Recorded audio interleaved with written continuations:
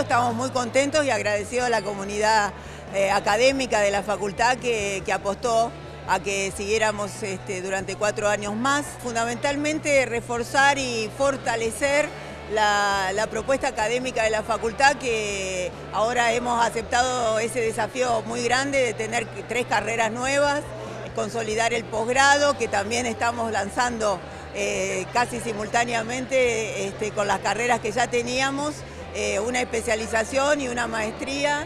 Eh, así que todo esto nos, lleva a repensar toda la propuesta, ¿no? desde la facultad, porque son desde las necesidades de infraestructura, de poder responder a las demandas de una facultad mucho más inclusiva y comprometida, como siempre ha sido nuestro principal mandato, comprometida con las con el entorno, con todo lo que implica. Después en investigación, en extensión, seguir reforzando las políticas que hasta ahora han sido muy fuertes, eh, sobre todo ampliando desde extensión también a la parte, a, los derechos culturales.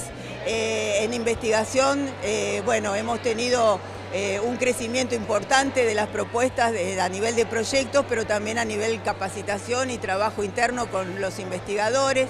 Así que bueno, tratamos de estar activamente presentes y críticamente presentes también en todos los ámbitos que están vinculados a nuestras propuestas disciplinares, pero también pronunciándonos acerca del entorno, de, las políticas que, que en este momento hay mucho para decir en relación tanto a las de comunicación como a las de educación. ¿no?